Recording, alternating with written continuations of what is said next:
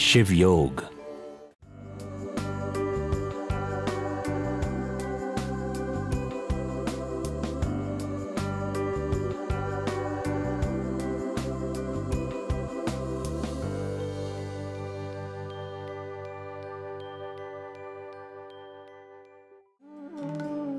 Good evening. It is said of him that he is no ordinary person. In fact, he is known throughout India, but also outside India. He is someone with amazing power, a fantastic personality indeed. He is considered to be the father of ancient Siddha healing, having, to quote from the pamphlet I'm holding right now, revived all the sacred wisdom of the ancient seers, which was previously only passed on from master to disciple. He has made available this sacred knowledge to the common man and of quotation. Ladies and gentlemen, let's welcome this evening in our midst Avdhoot Baba Shivanandaji from India. Swamiji, Babaji, good evening, namaskar, and welcome to Mauritius. Namah Shivaya. And also welcome to your life partner, who is, it's our pleasure to welcome Guru this evening. Swamiji, if I'm not mistaken, this is your first visit to Mauritius. Previously, I think the only country I've been visiting outside India is Thailand. Um, my first question will be a very classical one, Swamiji. Who is Swamiji? Who is Babaji? And what are the objectives of your visit in Mauritius? Actually,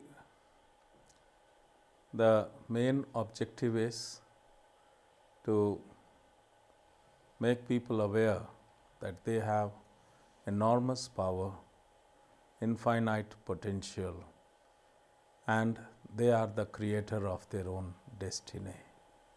And such a wonderful country, such a wonderful people, if they know this ancient wisdom of holy siddhas, they can make their life very purposeful and very wonderful. But Swamiji, let, let me, I don't insist, but let me come on the first part of my question. Who are you? I am a being of light and I have created this body to have the earthly experiences, and so are you, the same. We all are the being of light. We all have come on this planet to have certain wonderful experiences.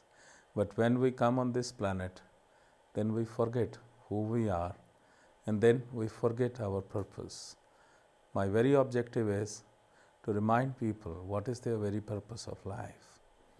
And their purpose is not to suffer, but their very purpose is to experience what best of the best which this planet Earth can offer.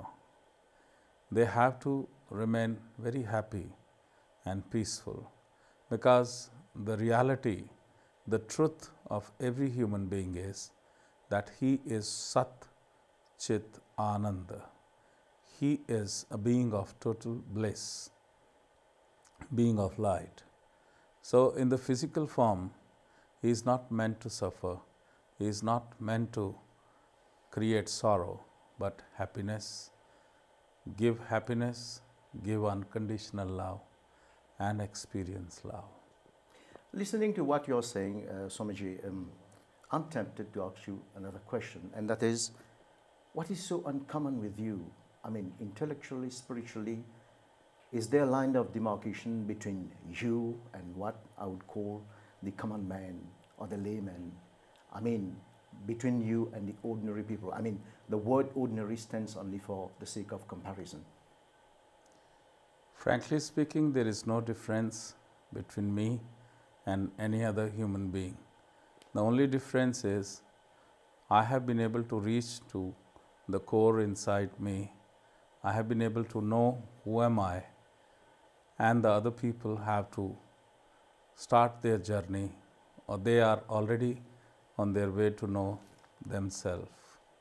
And I have come here to guide them that they are the God, they are the ultimate light, they are the bliss, they are the Parabrahma.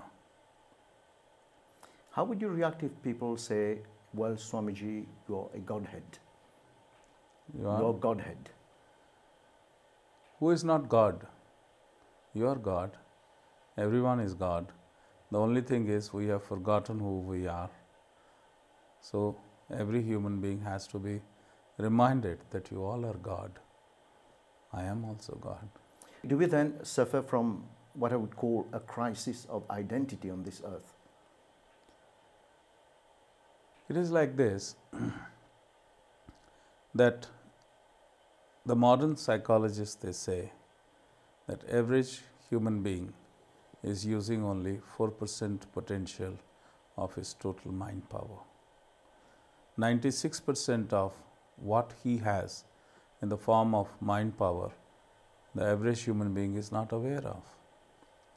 Medically, if we say, we say that average human being, only 3% of his total body DNA are active, 97% are inactive.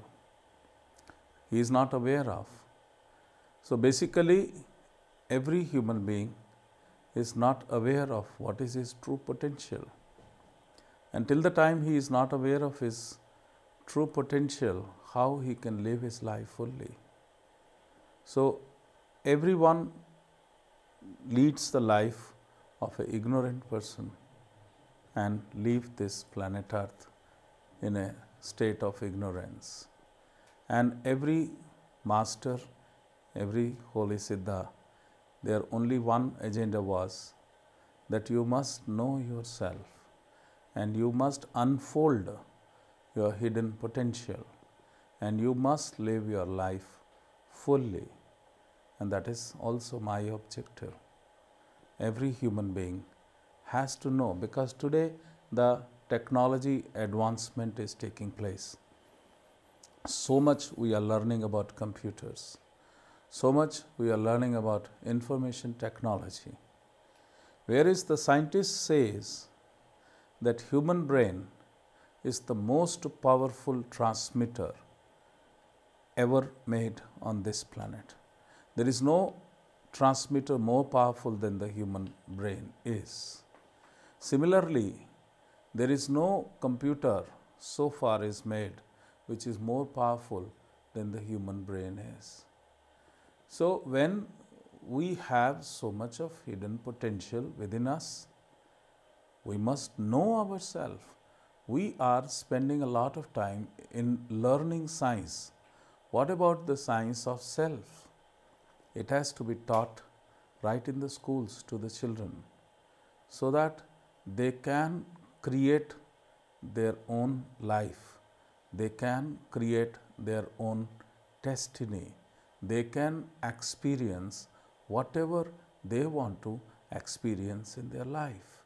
The suffering will vanish, the limitations will vanish because the moment you come to know who you are and what all the potential you have, then this we are talking about poverty, we are talking about scarcity, Nothing comes from outside, everything comes from within.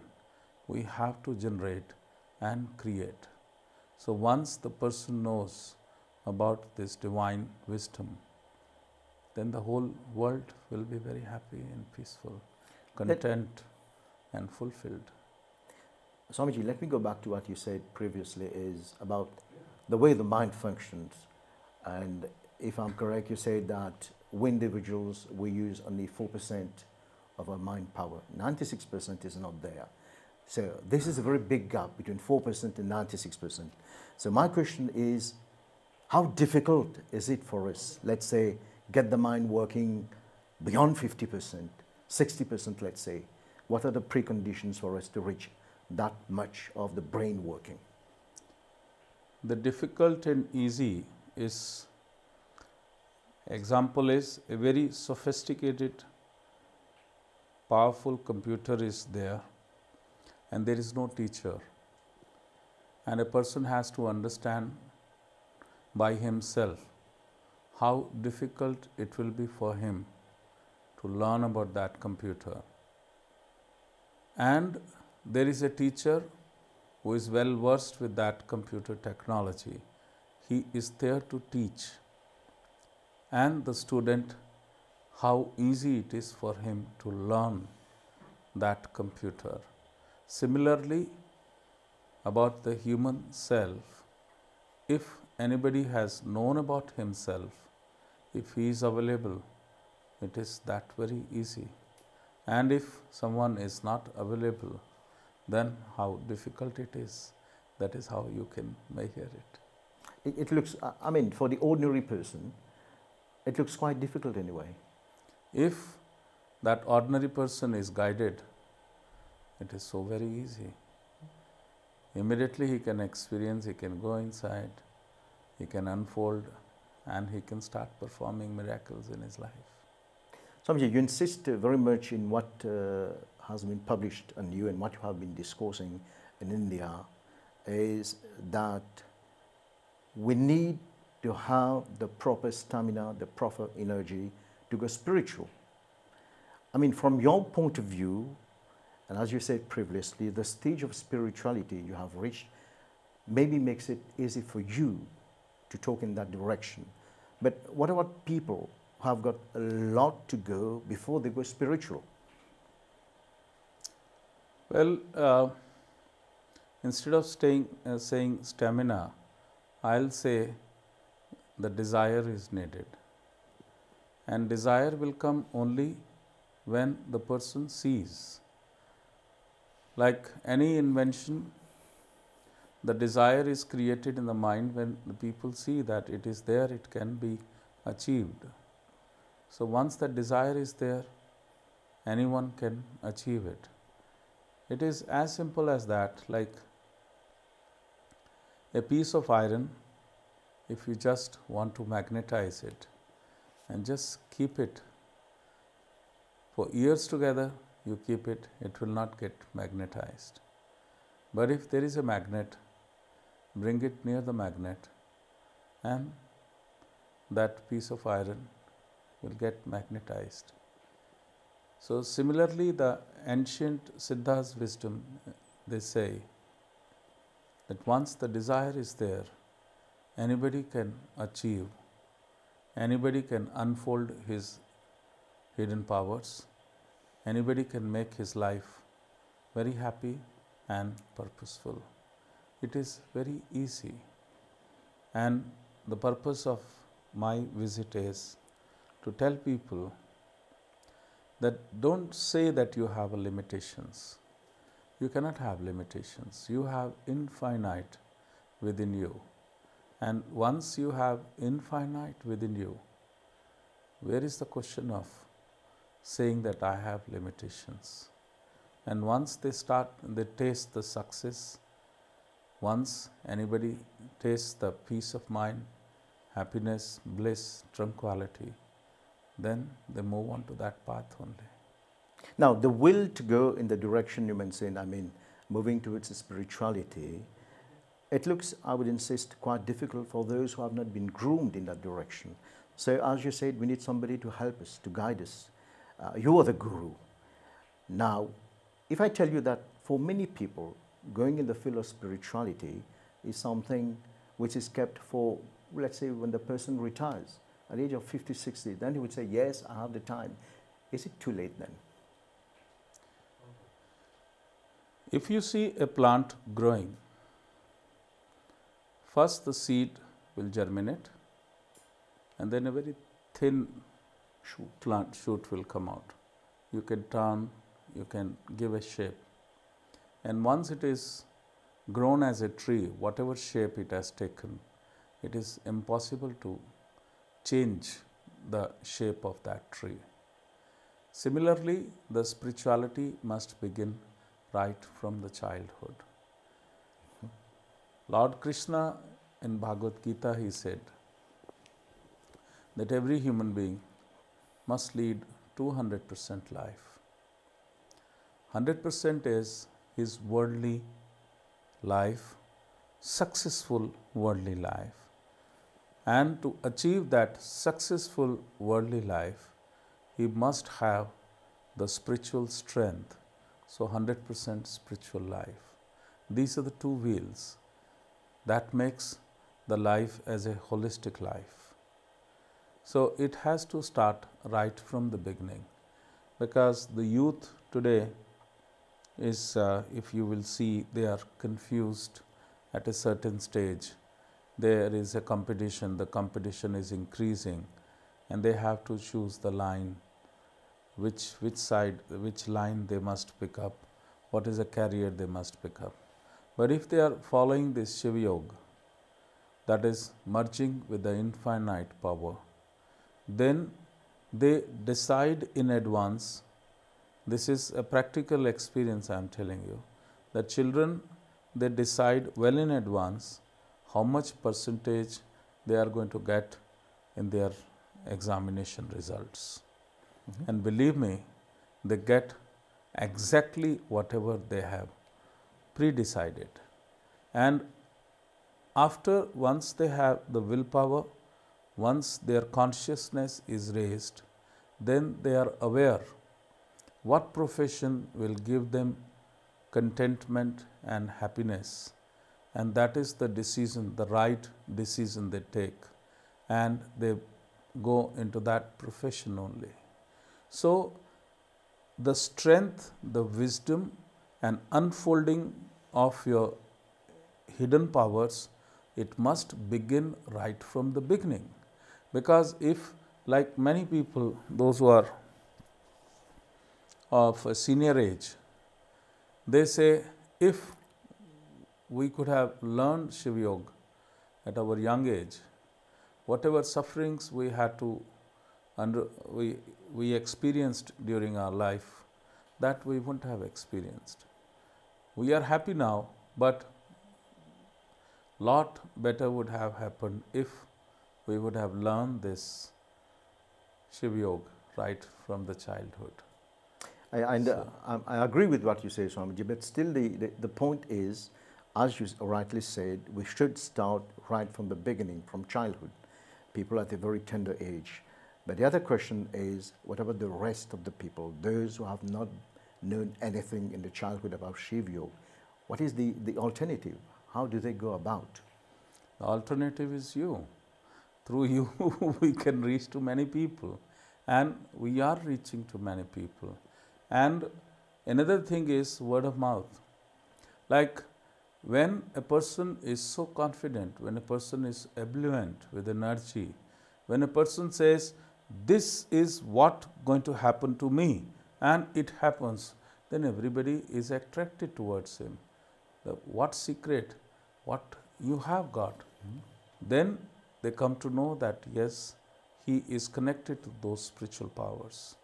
So, a lot of youth is now attracted towards Shiva Yoga and they are following this path because, as I said, why a human being lead uh, the life of an average human being? Why should he suffer?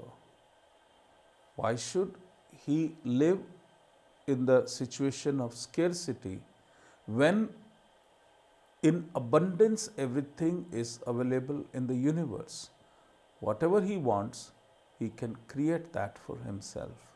So, I personally feel that while teaching a student of physics, chemistry, or biology, this law of Shiva Yoga, merging with infinite and tapping the cosmic wisdom, that knowledge also must be given to every student so that he can realize his dreams and he can create his own destiny.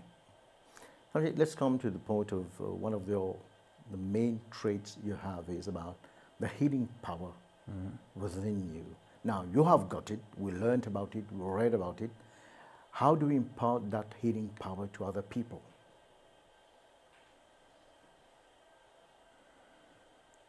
First of all, when we talk about healing, healing of what? Healing of a disease. Now we must understand what is a disease. Disease is disturbance in ease. When the life is moving very smoothly, some disturbance comes in life, that disturbance in ease is called disease. It is not necessarily a physical ailment, it can be the relationship problem, it can be a failure in life, it can be lack of abundance and prosperity. It can be anything where the disturbance in life is created. The person wants to lead his life in a particular direction, but the disturbance is coming. Now, the whole universe is made up of vibrations. Vibration gives birth to energy and energy gives birth to the matter. Even the Einstein has given this formula E is equal to mc square. Matter, everything, whether a human being, whether animal, whether plants, whether house, whether car, whether dollars, everything, the matter is made up of energy and energy is made up of vibrations. If vibrations are low, energy is weak and materialization it will not occur. But if we learn to enhance our vibration level, energy level, we can create the desired results. The whole universe, the holy universe, it has various dimensions and we are living in third dimension and it goes right up to the infinite dimension. Every dimension has the life force energy. Life force energy is the purest of the pure vibrational energy of every dimension, which gives birth to all positive things, which helps in materialization. Now, in Shiva Yoga, we tap the Sanjeevani Shakti, which is the life force energy of infinite dimension. In our ancient India, we believe in Lord Shiva, Bhagwan Maha Mrityunjaya. The Shiva has the form Maha Mrityunjaya, and Maha Mrityunjaya has the female energy within him that is called Sanjeevani Shakti. Now, that Sanjeevani Shakti, if we learn to tap that energy and along with our thought process if we combine that sanjeevani shakti it becomes a dharana and it materializes now whatever disease has set in in the body how it has set in into the body is because of our negative thought process because of our negative karma and that negative energy has entered in the physical body and the disease has occurred. Now, the healing is we tap that energy of God vibration and we project it to that part of the body which needs healing and it starts vibrating at a much higher frequency. And once it starts vibrating at a very high frequency, the disease it disappears it is that simple. It, it, it goes with your thought. It's like a laser beam, Shambhavi, and it enters into that organ of the person and the vibration it enhances and the person they start getting cured. Like uh, somebody says they have kidney stones. Now, physically, if you will see, kidney stone is a stone which is formed inside. A lot of logic will give that it is uh, by eating more calcium or whatever it is there, which is only a logic mind giving. Because if clairvoyantly you see that stone etherically it is made up of black energy, mm-hmm. the grayish etheric energy. And once that Sanjeevani is projected, that black energy is transmuted into the golden energy. Uh, it is surprising that in many cases, people when they go for the retest done, they find there is no stone, it has disappeared. Somebody asked, It is a miracle you are performing. I said, I am performing the same miracle which you have performed already. He said, How we have performed? I said, Without surgery, if you can bring the stone in, without surgery, I can bring the stone out of your body. But there is a difference between what you are telling us in matters of healing. What is the difference as compared to what we call modern medicine or traditional medicine? Every medicine has only one objective is healing. And healing is a positive energy. And if you take the modern medicine, it also has the positive objective. But it has to combine together. One factor is missing, which today I talked with the doctors, the medical doctors, that modern medicine in many ailments the cure is there and in many other ailments there is no cure. So, there is certain vacuum which is there. We will have to combine. So, if Sanjeevani is combined with the modern medicine, we can achieve excellent results. So, let's come back to what you said uh, a few minutes back. And my question is Is it that whatever happens to a human being, you or me or anybody, is it that it is the food, the, the food of what we call in Hinduism our past karma, what we have been doing in the past life? How convincing is that argument to people who are not in the spiritual world? Is it a question of the way we think, the thought process?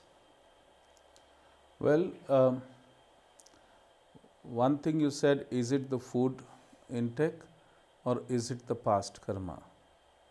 Now, I'll give you example. There is a outbreak of epidemic. Is it 100% population those who suffer from that virus or bacteria or only few people they suffer.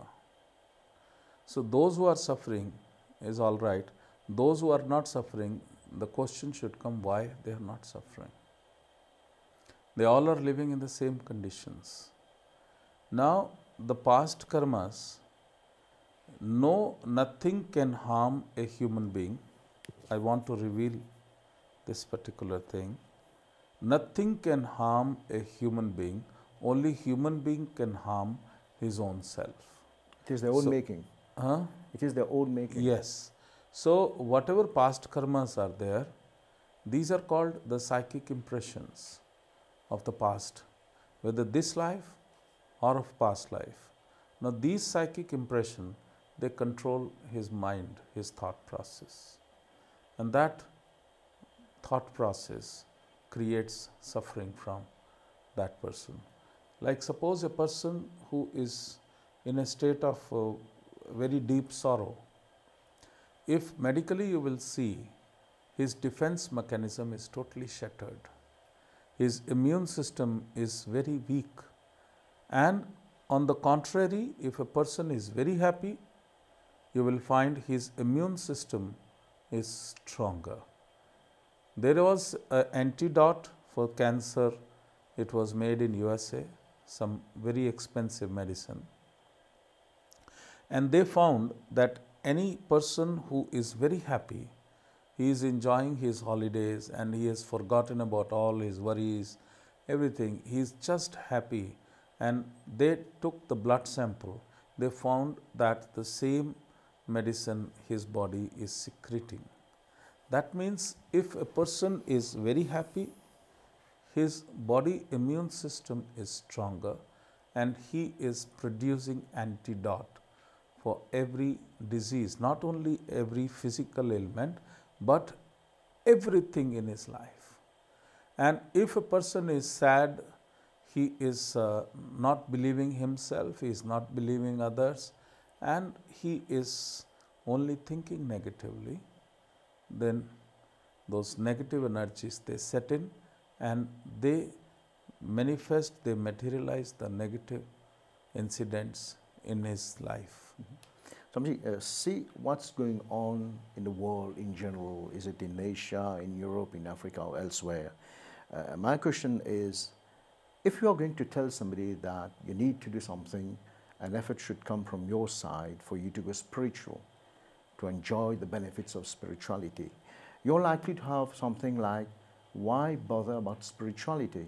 I'm enjoying the comfort of the material world, of worldly things.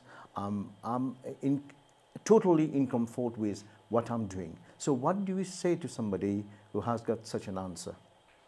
First of all, we must understand what is spirituality. Spirituality is not going and sitting in the temple and ringing the bells or going Renouncing to the church. everything? No.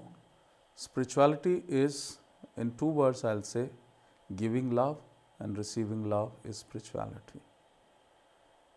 Giving love, if only these two things, if we remember and we implement in our life, every disease will disappear, every scarcity will disappear, every suffering will disappear. Giving love and receiving love. When you sit for meditation and when you are very much at peace, that time you are not angry at anyone. It is only when you are not at peace, then you are angry. That is opposite to it. Giving hate and receiving hate. Whereas spirituality is giving love and receiving love. Ultimately, every holy Siddha, like Lord Buddha, Lord Mahavir, Baba Gorakshnath, Mahavatar Baba, they learned only one thing that is unconditional love. They all say one thing that no one is separate from me. When I am Parabrahma, I am the Atma, I am omnipresent. When I am omnipresent everywhere, then you are not separate from me. Mm-hmm. When you are not separate from me, I am not going to hate myself, I am going to love myself. That means I am going to love you unconditionally. That is the level of consciousness which a person must achieve, raising the consciousness level. And once we understand this, all the sufferings of the whole world will disappear. Because if today we say this is the problem, that is the problem, one country is fighting with another country, one religion is fighting with another religion, why it is happening? It is because of collective consciousness. Like every human being is thinking something. Now, whatever you are thinking, whatever that your community is thinking, whatever is your country is thinking, whatever globally every human being is thinking, that creates a collective consciousness. Now, if every person is saying, let me destroy the other person, let me destroy the other person, what message goes to the universe in the collective consciousness is that these human beings they want to destroy each other. Then the natural calamities are created. The um, cyclones will come tsunamis will come the water level will go up so whatever those things are there it is because of we are creating god is unconditional love Shiva is very loving, and whatever we want, he materializes it into the reality. Now, the collective consciousness, if it is thinking destruction, they are invoking destruction, and that destruction is materialized into the reality.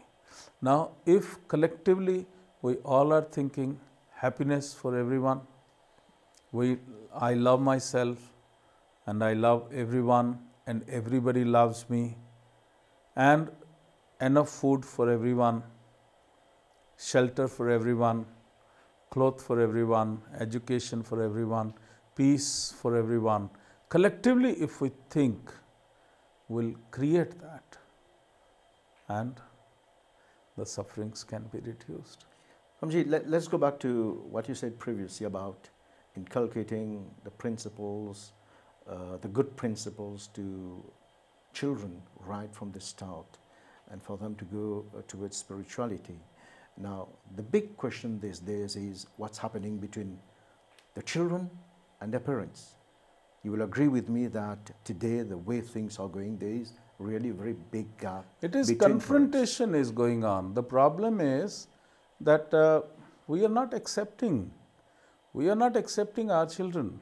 And uh, first of all, we must know what is the meaning of spirituality. Now, in, in many cases, the parents, they think uh, spirituality means going to the uh, temple or church or any holy place and uh, go there, bow down and do all karm kand.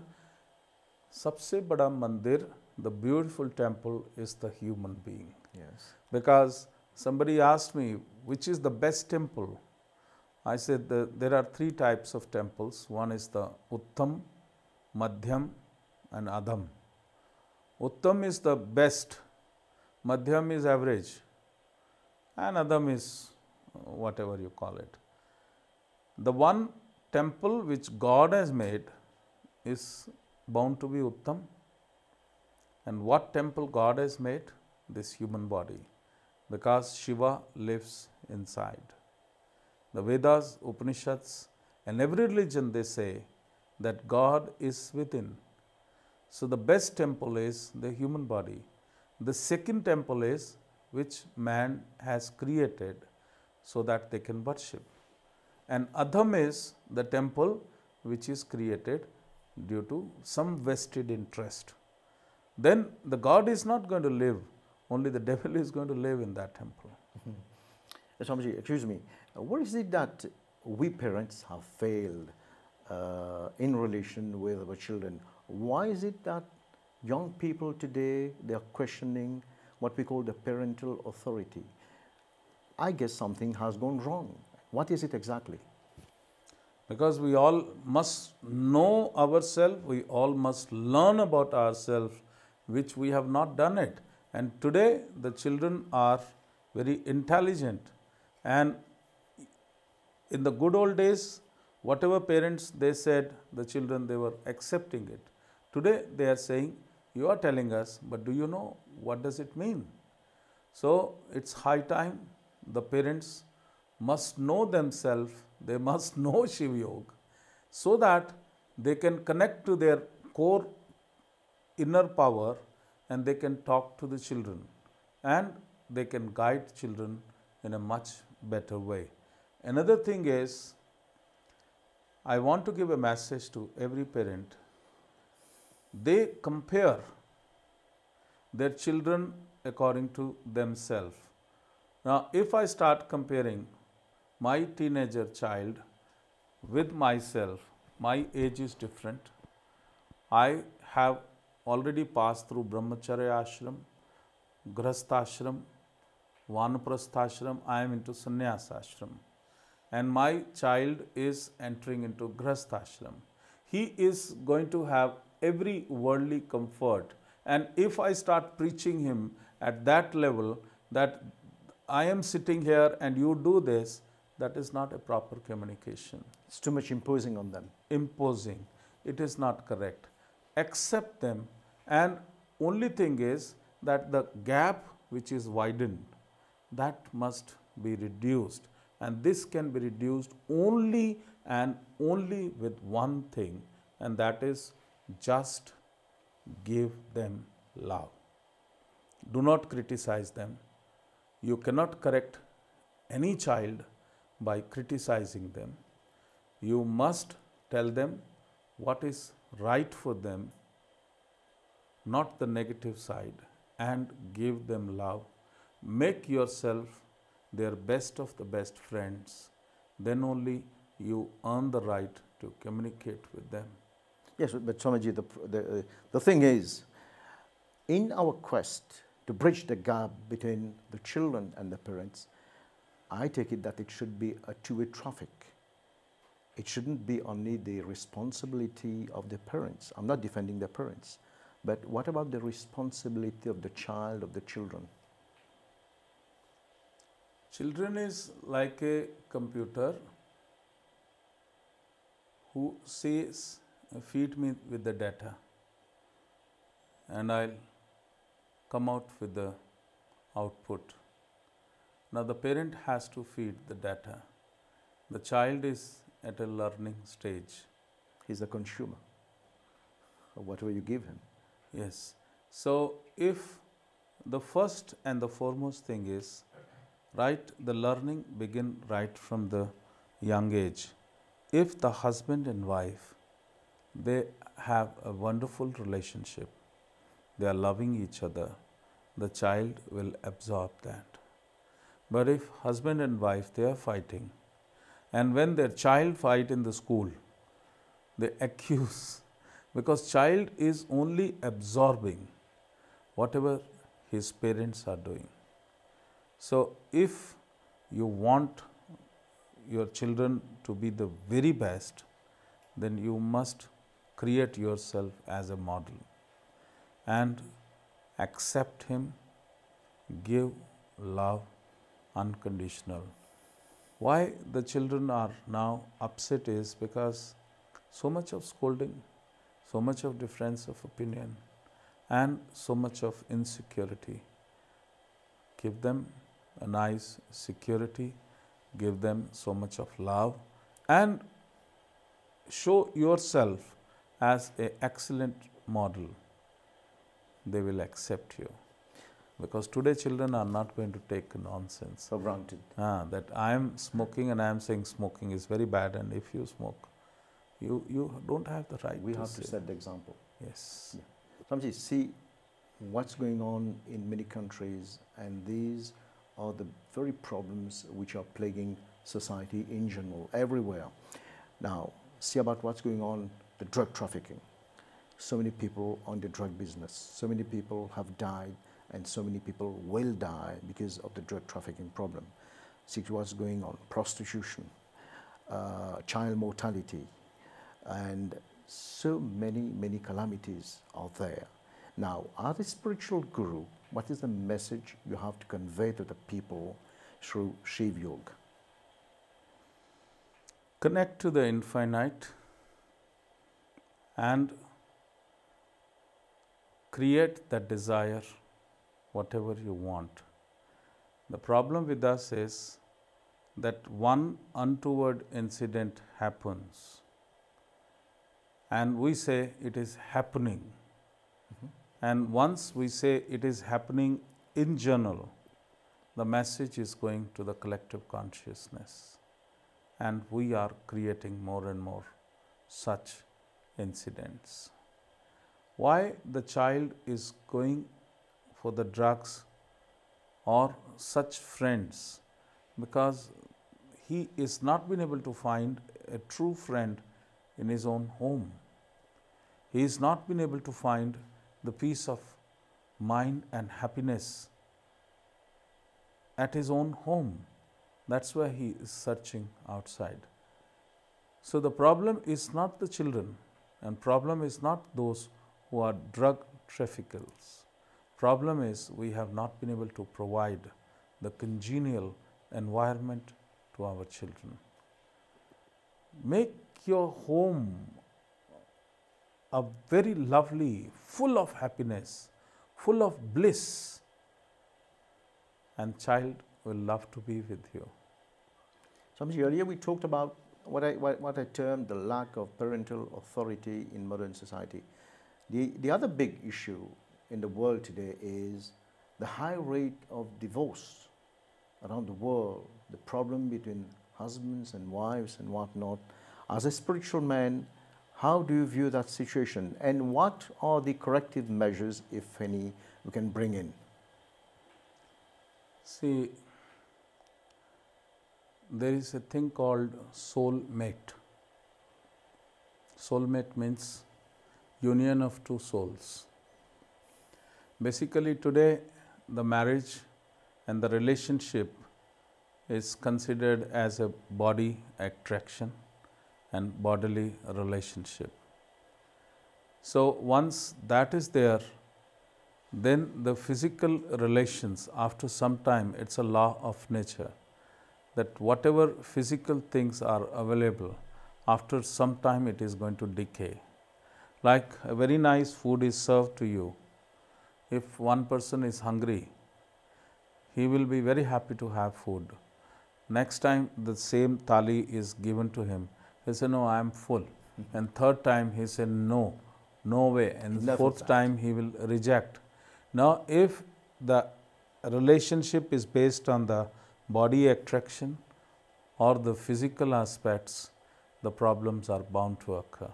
But if it is loving the soul, loving the energy, these problems will not occur. But today, unfortunately, we have drifted away from our roots. So these problems are cropping up. We'll have to hold on because modernization is excellent, modernization is good, but to enjoy the modernization, you must hold yourself firmly to your roots. The roots are your culture. Strongly hold on to your culture and then enjoy the modernization. Everything will be very fine. Swamiji, listening to you, I come to another question. Is it somewhere down the line because we people have been playing, playing with the law of nature, altering the law of nature, that today we witness so many calamities in the world? And is there any remedial action likely to be put into action? We must become natural. What is natural?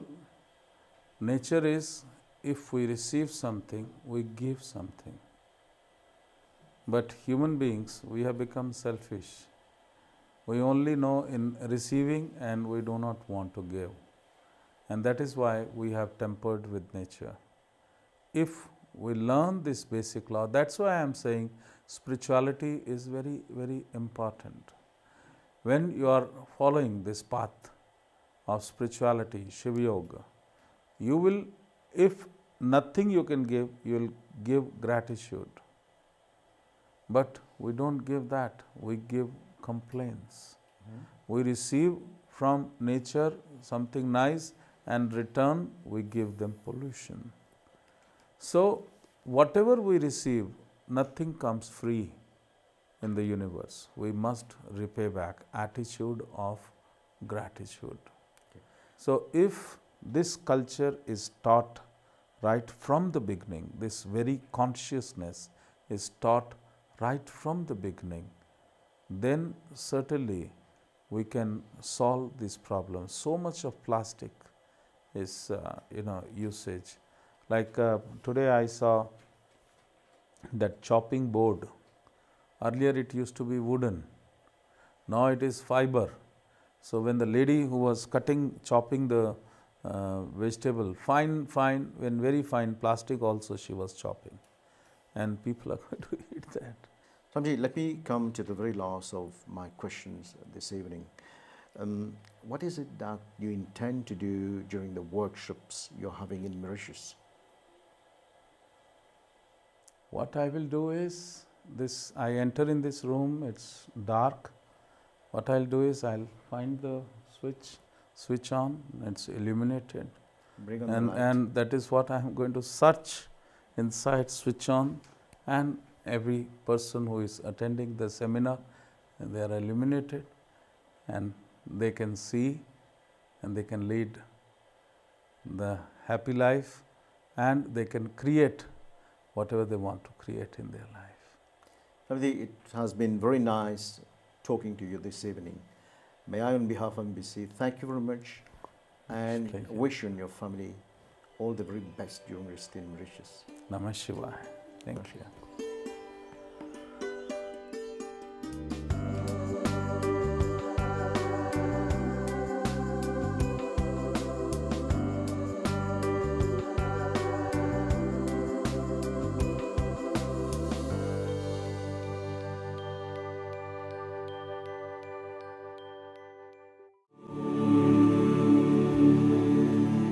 Shiv Yog